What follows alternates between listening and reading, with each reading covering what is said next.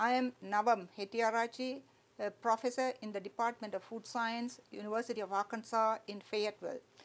One of the programs that we do have in uh, the department is uh, researching on soybean seeds that have a lot of health benefits.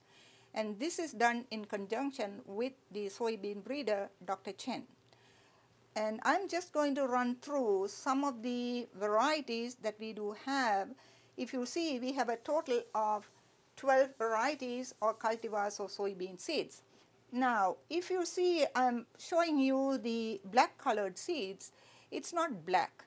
It's loaded with anthocyanins, a pigment that has antioxidant properties and also phenolics that also has antioxidant properties.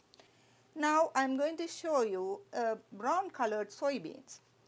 Now this is brown in color, it has less pigments and it has more phenolics here. So again it will be a good source of antioxidants. Then moving on then we do have this uh, green soybean that's called the edamame where this had been dried. And edamame in addition to the other health benefits that we do have, it is it can be also a vegetable soybean.